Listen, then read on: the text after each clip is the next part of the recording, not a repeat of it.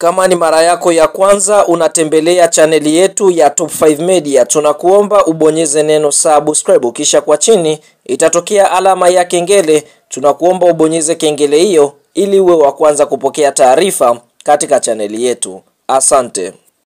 Mchezo mkubwa wa mzunguko wa tatu ligi ya mabingwa barani Afrika hatua ya makundi, mchezo wa kundi D ambao unasubiriwa na wadau wengi wa soka nchini Tanzania, nchini Ghana, Afrika Mashariki, Afrika na ulimwengu zima kwa ujumla, basi ni mchezo ambao utakwenda kuikutanisha klabu ya soka ya Medeama wakiwa nyumbani kwao wakialika klabu ya soka ya Yanga Sports Club, ukiwa ni mchezo wa kundi D ligi ya mabingwa barani Afrika kwa msimu wa mwaka 2023 2024.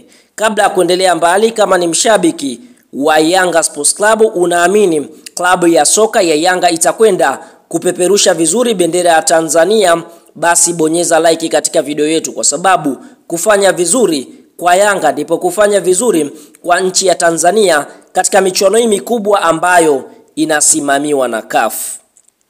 Kuelekea katika mchezo huu tunaona kunako msimamo wa kundi D, kundi ambalo linaundwa na Al Ahly, CR Belouizdad ya Algeria, Medeama wenyewe na Young Africa. Basi msimamo unaonyesha kwamba Medeama wako nafasi ya tatu wakiwa wamecheza michezo miwili, wameshinda mchezo mmoja wakiwa nyumbani kwao. Tena mchezo huu wameshinda dhidi ya CR Belouizdad e, kwa bao mbili kwa moja na wamepoteza mchezo mmoja dhidi ya Al Ahly kwa magoli matatu kwa sifuri.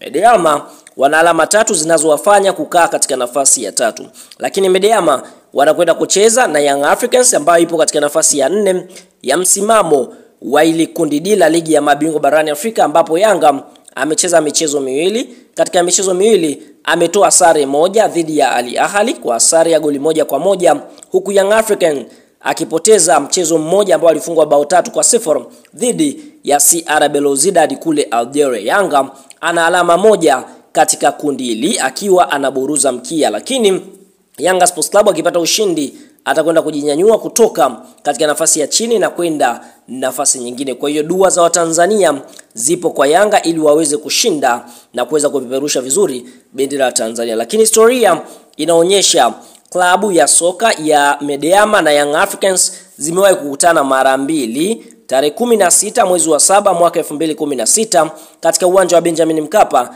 Yanga walitoa sare ya goli moja kwa moja, lakini e, tarehe 26 mwezi wa saba 2016 Medeama wakiwa kwa Ugana walifunga Yanga magoli matatu kwa moja. Kwa hiyo historia inaonyesha Yanga hajawahi kumfunga Medeama. Medeama amemfunga Yanga mara moja na kutoa sare mchezo mmoja ambapo mchezo huu ulikuwa ni mchezo wa kombe la shirikisho barani Afrika mnamo mwaka 2016 2017. Kwa hiyo Yanga wanakwenda kucheza na Madiama, tayari timu hizi zikiwa zimewahi kukutana huko nyuma.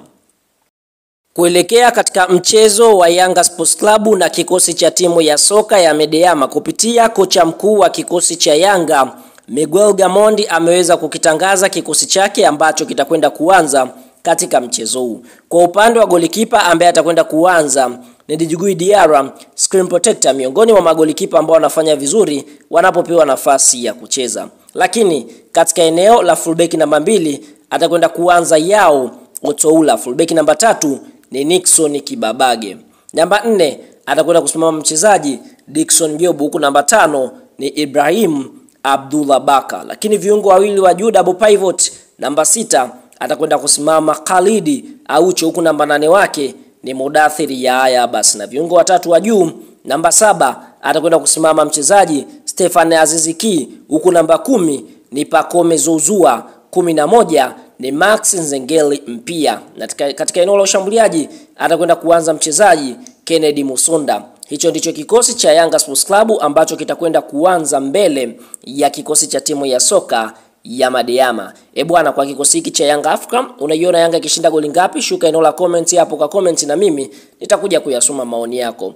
Asante kwa kuwa nasi, bye bye.